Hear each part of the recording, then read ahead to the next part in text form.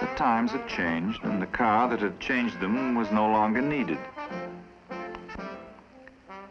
In May 1927, the fifth month of the plant, and the assembly line closed down forever on the world's most famous car.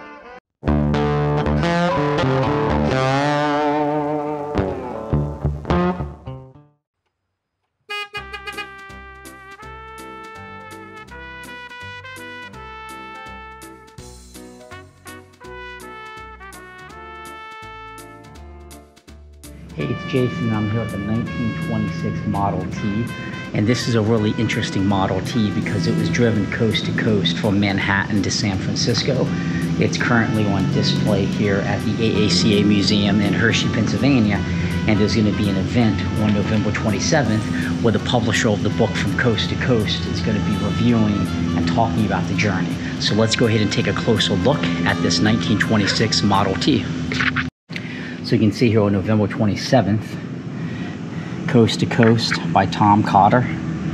He's going to be reviewing the history of this 26 Model T that drove from Manhattan to San Francisco. You can also tune in via Zoom, and this uh, is on loan from Nathan Edwards, who lives in Winchester, Virginia.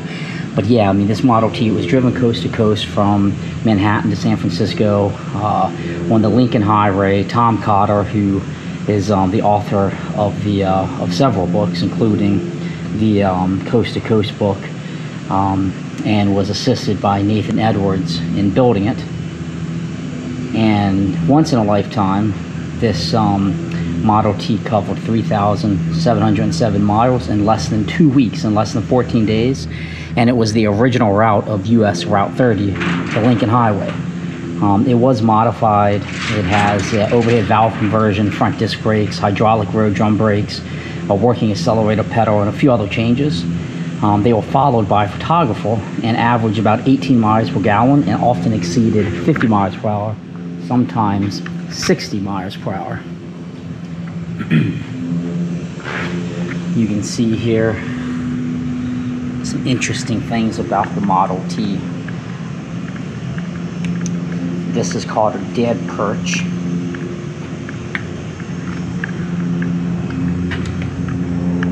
Which is a solid right spring shackle to help with steering response.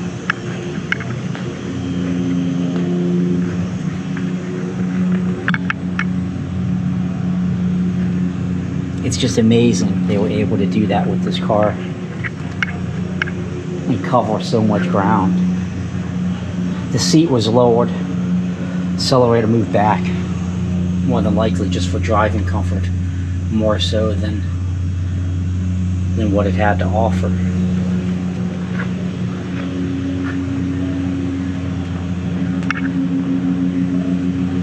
California or bust.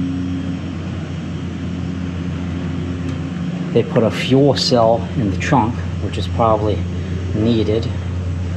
Various tools and whatnot to help them on the journey.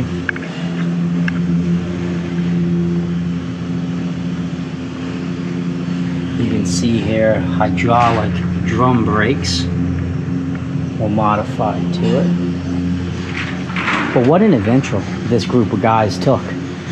I mean, it's it's a it's an awesome looking car, a lot of history to it and drive something from the 20s all the way coast to coast with a photographer in tow and to have a book about the journey to share with everybody. I think it's just remarkable. So be sure to tune in to this, and uh, I'll definitely urge you to come check this thing out in person because it's uh, really impressive to just see this historic vehicle and what it did. Appreciate you tuning in. Be sure to subscribe to my YouTube channel. It means a lot to me. Have a great day. Times had changed, and the car that had changed them was no longer needed. In May 1927, the fifth out of the plant, and the assembly line closed down forever on the world's most famous car. From then on, the old flivver began to disappear from the roads. As old cars were turned in, they were taken back to the plant.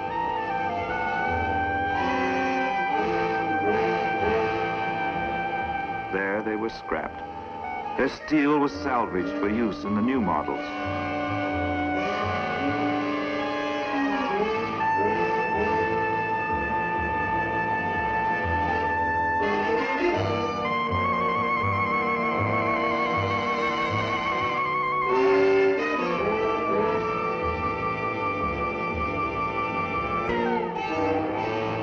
I would balk at the mouth of the furnace as though in a last effort to save itself.